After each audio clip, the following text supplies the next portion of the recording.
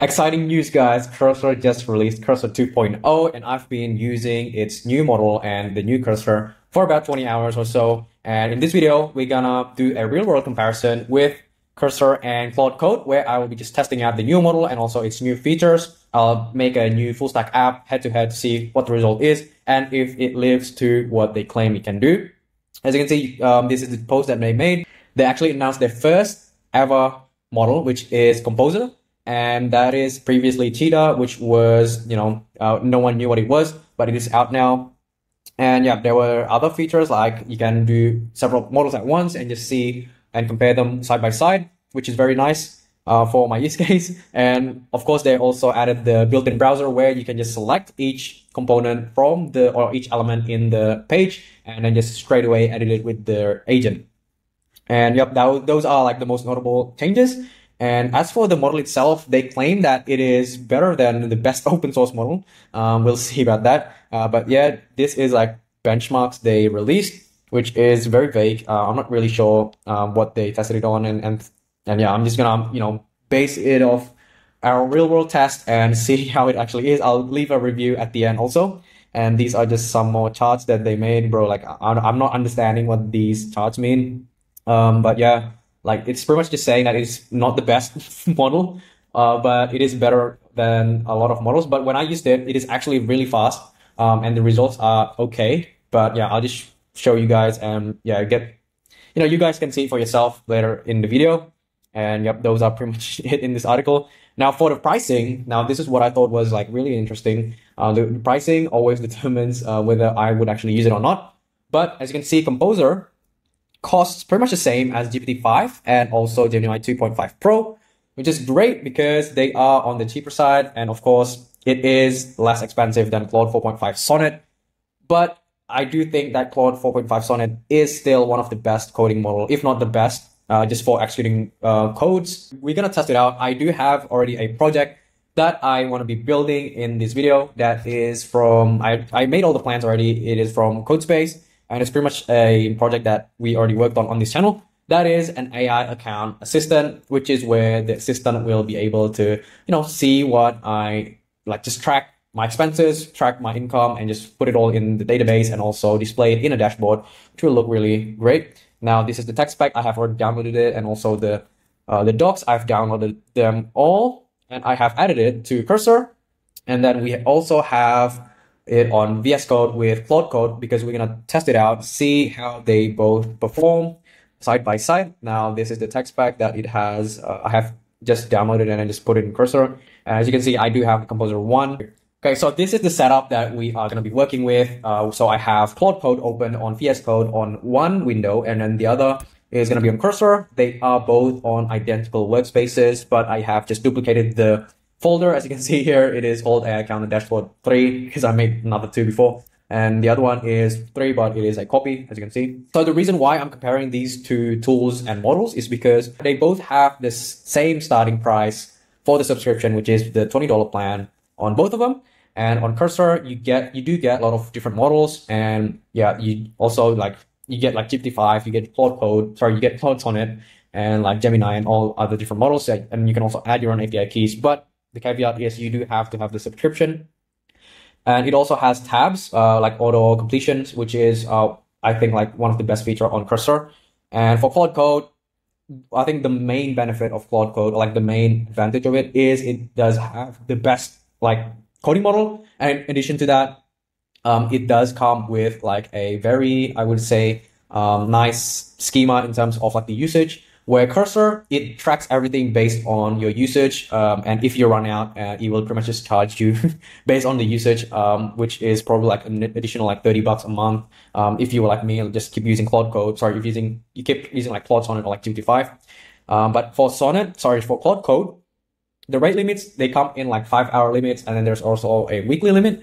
When I, I've been using Claude Code for like three months um, and it was like rate limit is okay, like five hour rate limit. Uh, I kept reaching them. Um, but yeah, like the weekly one, I've never reached it. But yeah, of course, you get pretty much um, the max out of, if you're just using Claude Sonnet 4.5, you get the max usage from Claude Code. Um, but with Cursor, you do have to pay per usage once your 20 bucks like usage limit is reached. You can see more in the in the docs, but that's pretty much also my experience.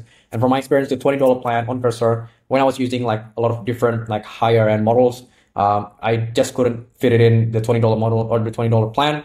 So I switched to the Pro Plus, which was $60. And I also had to still use the papers, pay, pay per use, uh, which usually goes about like until 30 bucks because I kept using Claude Sonnet.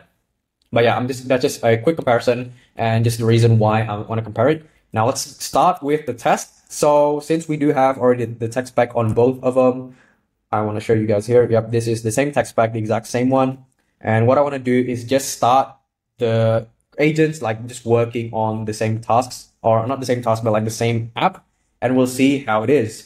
Another important thing I want to note is that they both come with this plan mode, which is a really good addition for both of them and I'm going to show you guys what it's like. So for Claude Code, it is pretty simple. Um, but yeah, let's just start first with Claude Code since I have already had this prompt. So to enable plan mode or to just uh, do some planning, you can hold shift and click tab and then you can just pretty much cycle through modes. And then when you're in plan mode, just press enter on your prompt. And then what that does is it'll go through everything, like you'll go through the code base first and just see what we mean by our prompt and then just uh, compile a quick like review or like summary on what it's going to do. And as for cursor, let me just open that. Cursor has it here and let's just paste in the same exact prompt. And I am going to make sure that this is getting, yep. Okay. So it's getting the link. Now let me just delete that. And for this, let me just documentation. Okay. I don't think it's picking up the um, directory, but that's fine. As for cursor, the planning is here. There is a specific plan mode and let's just try it out. I, I am going to be using the composer one model, but yeah, there are like these options you can um, choose from and also you can add your own models uh, with an API key and things like that. So yeah, let's just start this plan mode and let's see if it is finished on Claude Code. So, okay, so it is asking for permissions. Let's just enable all permissions yeah, I just wanted to show you guys like the main difference uh, for Claude Code. Uh, it does ask you some questions just to clarify some things with the plan, which I like. All right, guys. So Sonnet 4.5 from Claude Code just finished making the plan. It took a while. Uh, maybe it took like about more than five minutes. Now Cursor finished it in like two minutes. Um, but it did, yeah, it even made all these to-dos and yeah, all the different like um, attributes, I guess, for the UI and stuff um, I mean, sorry, the steps, whereas Claude Code made it into phases, just pretty much the same thing. But the notable difference was that Claude Code actually intuitively like asked questions, like clarifying questions, and it was in multiple choice. So I was able to easily just pick uh, what I meant by the requirements, um, which is really nice. And it did just make it into phases uh, without like a detailed overview of the app itself. Uh, whereas the cursor here, I can see it made like an overview on like each of the steps, uh, which made it very like a lot more detailed um, with especially with the to-dos. So those are like the main differences. But yeah, like the speed, this was super quick. Let's just start it by clicking on build. Uh, so I'll do so on cursor. And of course, if you do want to make changes, you can just chat with it. Uh, that's what I usually do with cursor. And with uh, Claude Code, if you do want to make changes, just um, you uh, press this, like no keep planning, and then you can just uh, keep chatting with the Claude Code agent and like just keep on iterating on the plan. So, but now this looks good. So I'm just going to bypass all permissions and just continue with it. Both Cursor and Claude Code finished working on the plan and I have ran the development server on both.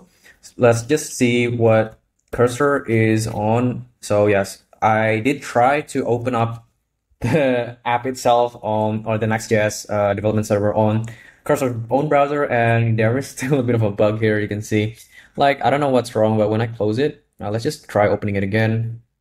It should get it should be fixed uh, but yeah it's a bit buggy and it takes a while to load things like that. So I'm just gonna test it out on Chrome because it's it's working right now. So this is the landing page from Cursor.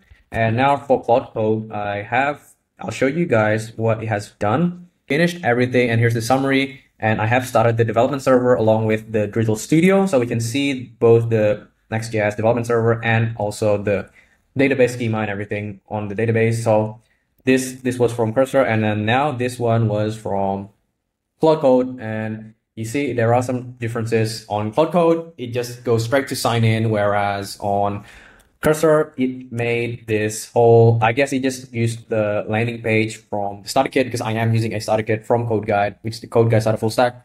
It is using Drizzle ORM, uh, Next.js 15, and ShadCN with Better Auth. Uh, you can see the, you can use the full stack starter kit in the link in the description. Um, so yeah, this is the main difference. It's still using kind of like the starter kit landing page. Um, you can sign in. It's using the same component. That's fine. So let's just sign up and then we'll log in and we'll continue from there. I've logged in on both Cursor's version of the app and also on Claude Code's version. As you can see, there are major differences. The main reason is because on Cloud Code, it did ask some several questions to clarify my actual needs. And I did say that I want to start off on the chat page and it did do that on Claude Code's version. Uh, and you can just, yeah, okay, there's an error, but we'll fix that. And on Cursor, it did not go to the chat page, it, but it went straight to the dashboard. Uh, but let's just see if it does have the chat page. Uh, it should have it. So let's see. Okay, so it seems that Cursor like didn't have any. There is a chat interface I see here, but I'm not seeing it being used anywhere in the pages. So, oh, okay, okay. So it's on the main page, the home page. So let's see that. So this is the home page. Okay, nice. So you had to log in and then you'll go to the dashboard and you just go back to the home page. So now it's the AI um, accountant, like assistant. So we can chat with it. Let's just try a simple prompt. Hey, and the UI looks okay. And the, okay, that's the, the amazing thing is that it's working straight away. There are no errors. That's really good. And yeah, let me check the logs if there are any errors. So yeah, it is a successful response and it should be the AI responding. So, hey, who are you? Let's just try that.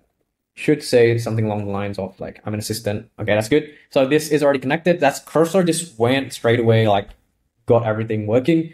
Whereas hot Code kind of messed it up. There is there are some errors here, but let me just copy the error and then um, try to get it fixed by just pasting it on the CLI here. Let's see, got this error on chat page. Let's just do that and we'll see how it goes. So I, I did fix the issues finally with Claude Code's version of the chat.